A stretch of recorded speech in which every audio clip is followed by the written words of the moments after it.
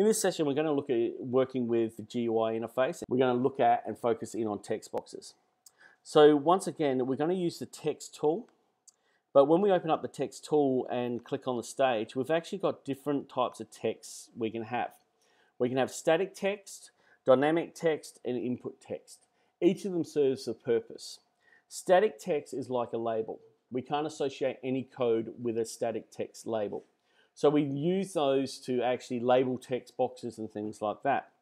Dynamic text is the text boxes we use when we want to give something back to the user.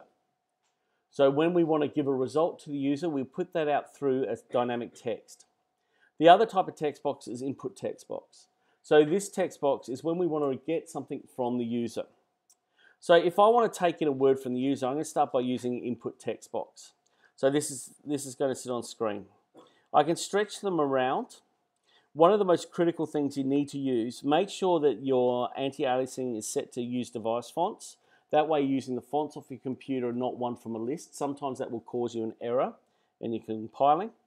Another thing you may want to use is this um, show border. If I don't use the show border and turn that off, and by default it is turned off, when you run your program, you can't actually see where the text box is. As you float through, your cursor will change to show you where the area is. But without the border turned on, so now when I turn the border on and compile that again with the command enter, now I can easily see where that text box is. So what we have now is a input text box on screen. Once you've created the space, you can adjust the font, the font color. Um, there's alignment and a few other little things under paragraph. So your alignment, if you want it centered, etc. So I'll just center this one for the time being. Um, you need to go up and give it an instance name. Instance names are important. I can have multiple text boxes, input text boxes on screen. But if I don't give them an instance name, which text box am I talking to? So the aim is to make sure that everything is labeled on your GUI. To label a text box, we use TXT. And we use the Hungarian notation, which is TXT, and also we're using camel case. So we go input box. So every word after TXT, every word starting after that has a capital. Now, this will actually get information. So this will allow me to talk directly to this text box. So I can actually get the information from the text box and I can write back to the text box by using its name called TXT input box. So let's go and put a label on screen. Now, because I've got the text box selected and the tool selected at the moment, every time I click, it's going to carry those properties across that I just had. So in this case here, I want to change this one to be a label. So I'm going to go back to static text. Uh, I don't want, you notice the border's turned off that now. So I'm just giving it a label. I can change the color of this. You've got to select it much the same as you do when you're word processing. And I can turn it to any color I like.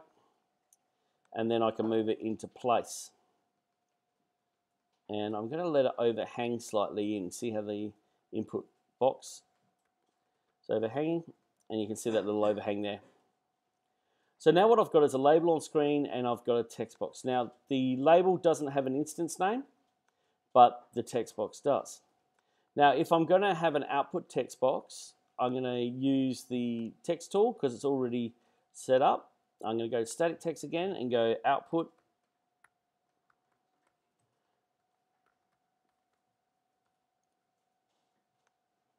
And notice how it's carried the same font size, etc. across. I'm just going to move that into position now. I just want to line this up a little bit better. Okay, I can copy and, uh, and copy and paste a text box and move that down. Now once again I'm going to move it up so the, the P sort of floats in, or because of the layering it's not at the moment. And I'm going to change that to dynamic. So now this is a dynamic text box. Now because I've copied and pasted the previous one, notice that the instance name's also been copied. So I need to change that to output. So now I have an output text box. Now the only thing I need to do now is place on screen a trigger. So I need my components, so you can get that by Windows and selecting components, and then opening the folder, for user interface. And I'm just going to grab the button out, drag that, and drop it on stage. And then closing that down. And then I can select the button, I can give it a uh, label like start.